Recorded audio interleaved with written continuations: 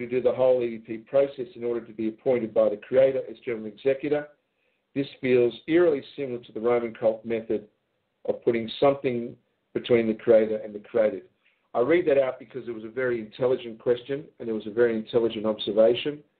And in fact, it, it is leading towards why we have updated the procedures, why we have moved the remedy from one heaven to the court sites, and it's why we are introducing the concept of the will and the registration of the private will and the notice of it. Uh, but I would say to you uh, that uh, I agree. Uh, we, we shouldn't be simply mimicking a Roman system for the sake of it. Everything we do needs to have a purpose. And you, as the executor of your true trust, uh, do not need to take an oath. It is an absolute right between you and the divine.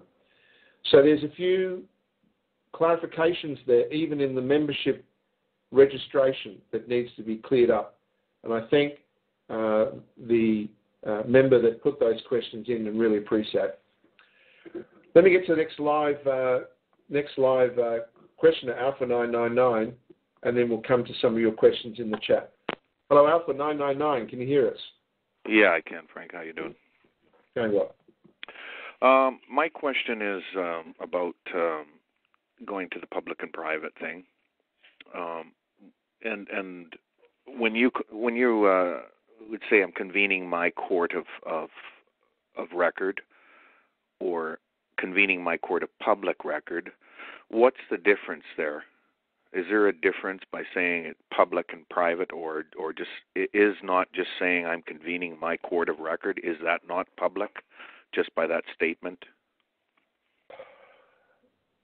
Um, when you go to a court, the reason okay the reason that the knowledge of public and private is so confusing is that they most often wish it to be so. Would you agree? They want it to be yeah. confusing? Yes, okay. they do. Yeah. Because it gives them an advantage. Uh, what uh, what happens is when you go to court, that is a effectively a private hearing of the private bar guild holding private business. Or in, in the case of probate, it's a private surrogate court. It is not a, a, a public court because it has not been nominated by anyone who has standing uh, to be so. And so it, it, will not be recorded as a public uh, record of, of, of, hearing. It will remain a private, which is why, incidentally, it's always so hard to get a transcript from them of any court proceeding that is not a court of public record. I would say the word public to make it absolutely clear that you are taking it from the private to the public by uh, by ensuring that it, it, it will be um, uh, considered um, on the public record. I would not um, make it an imp- implied comment because the risk is that they will simply say, "Well, that's fine. It's already on the record, you know, Mr. O'Collins," and, and they would keep going. All right. Right. Uh, there's another question I had about um, the minors uh, being um, as members of Ucadia. As a parent, could you um, record them as a as a member of Ucadia because you're the yes, parent? Yes, and and, and yeah. there, there there is. I guess the, the, the challenge here is there is uh, a question of free will and consent. Under the Roman system, the age of reason is considered the age of seven. That is, from the age of seven, there is a large body of rhetoric within the Roman system, Western law, that argues that a, a, a child by the age of seven can uh, distinguish what is right and what is wrong. Have you heard that before? Yes, uh, I have seven. Yes, but fourteen okay. was something too. I mean, there was another thing, yeah, and then of yeah. course 18, well, it's, age of the, the age of con- yeah, the, the the ability, the age of right and wrong is from the age of seven, which means that that a that a, a child can be held to some extent culpable for their actions, but by the age of 14 uh, is the age of contract, and therefore, um, by contract, breach of contract, or breach, then means that they can be uh, punished, yeah, uh, from yes. the age of 14, which is why you know juvenile courts and so on starts to be introduced. So the, the, the answer is yes, there needs to be the ability to recognise uh, infants, uh, children, uh, minors as as members, but it needs to be done with the same care, for example, as one redeeming your departed um, relatives and ancestors out of the Roman system. It's not there yet, and I would be open, and, and when, even when it's done, I would be open for all commentary and criticism to perfect this. But I, I have to say to you, I haven't thought through the nuances yet. I just know it needs to be done very carefully. Uh, I don't mean to ping pong ping pong from one subject to the next, but there was one other That's one right. that came up this week. Uh, Rob Ryder was talking about um, uh, about a half proof and notaries and whatnot, and uh, doing an oath in front of a notary.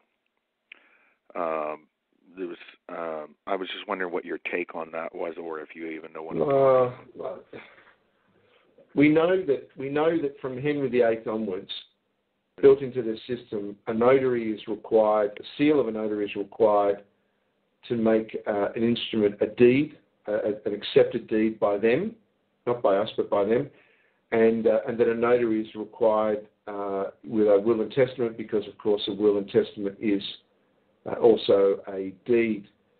Uh, as to putting an oath in front of a notary, accepting all of that, look, I, I think there's always a risk that we, we get into the situation where we want to click our heels three times and do a twirl and we find a remedy.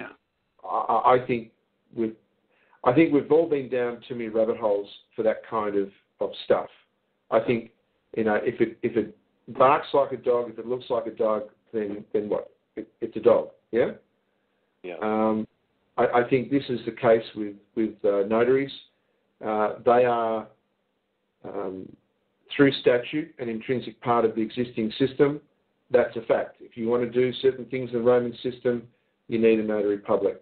I, I would I would stop I would stop trying to create hybrids by trying to sort of overstretch their public form with our private. We have private, they have public, they have certain ritual, we have certain ritual. Um, there are some cases where we want to roll it into their system, but I don't think there's any benefit in what was being said then. Okay? Okay, thanks a lot, Frank. Uh, I just want to s- I hope well, Ray, you get well. Uh, we're all thinking about about you, I'm sure. Absolutely. Thank you very Thanks much. Thanks again. Yeah, Okay. bye. Before we get to the next uh, questioners, and thanks for those that are holding online to, speak, I just want to get to a couple of questions in the chat that you've put through. Uh, let me just um, uh, go up here. Uh, uh, guest 53 asked the question um, Would I please interpret my version of the truth movement? Uh, thanks, guest 53. That's a pretty uh, broad question. Um, look, the truth movement, call it the free movement, call it the liberty movement, uh, there is a feature in uh, quote unquote democracies of there being uh, anti-government or anti, not anti-social, but that's sometimes how it's described, but anti-government uh, or, or pro-freedom protest groups that have been uh, in existence. And those have been in existence from the beginning of the um, Commonwealth um, in America right through to the beginning of um, the Magna Carta in, the, in England right through to the French Revolution. There, has been uh, groups that have come together and under different philosophies of protest, the Jacobites, Jacobins, and so on, all these different groups. Uh, the truth movement is just another version of that, a broad label, and within that you have a whole diverse array of, of, of opinions.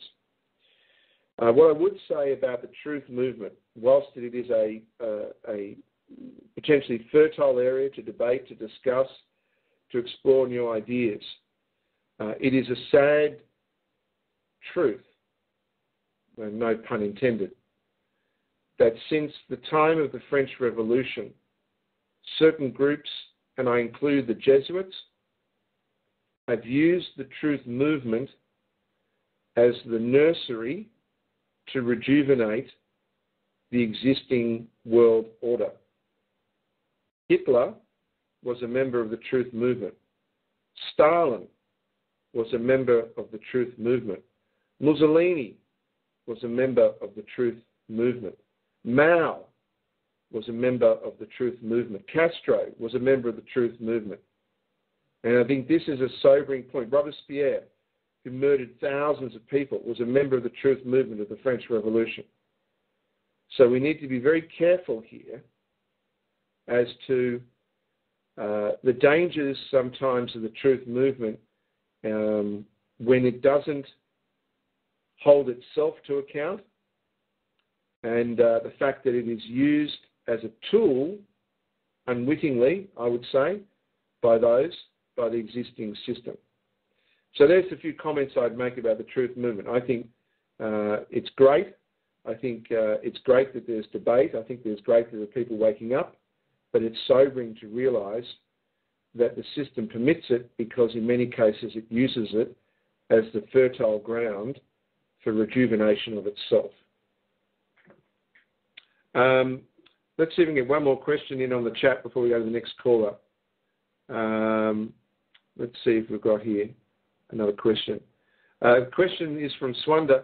The UCC has not been sent back to me. Would this mean that it needed to have me identify myself as General Executive? Hi, Swanda. That's um, a bit hard to answer that uh, without knowing the context of what you sent, when you sent it, how you did it, uh, in order to see if, if the UCC filing was recognised as being filed correctly, that's not saying that they validate it, they would normally send you a copy. If you haven't received a copy back, then that would suggest that it hasn't even been recognised as being filed. But if you want more information on that, Swanda, please either put it into the chat or uh, if you can, try and get on the call and let us know, or go to University of Ucadia and uh, provide some more information, and uh, we'll answer that question, uh, if not uh, during the week, by next call. Let me go to the next uh, live caller, and then we'll keep, keep going through your chats. Please, if you want to speak to us live, press star 8 or hash 8, or put in your question in the chat, and I'll get to it. So I'll speak to Dean now. Dean, can you hear us? Uh, yes, Frank. Uh, good day to y'all. Uh, How are you? My question is about um, essentially the process in which we're going to use to remove ourselves from, let's say, their roles from the from that system. Like, for example, many of the questions are about when you're already involved in a controversy with them. I'm yeah. not in any controversies. I, you know, but I'm interested in what steps should I be taking to uh, put them on notice that I'm going to be uh, no longer part of their society, going to be part of a different society? That is an excellent question, Dean. You know that we, we started by the process of the ecclesiastical deed poll um, some months ago now as a means, essentially as a, as a, a respectful means of writing to them telling them what we know about their system and really seeking them to respond and, and uh, remove us. And you know that, that we have not had the, the honour reciprocated by them. Okay? Okay. So I think the next stage that we want to pursue here is not to repeat something that is not getting the response, but to, to view it from a different angle. You probably heard the saying, the thing that hurts them most is their hip pocket. Have you heard that? Oh yeah, hit them, hit them in their pocket. Right. Well, when you are part of a society that has a comprehensive rules of administration, and I mean comprehensive, criminal code, civil code, energy code, education code, health code, canons, the full nine yards, has registers, is able to administer itself competently, and therefore can, with the members' permission, issue bonds, we can effectively, as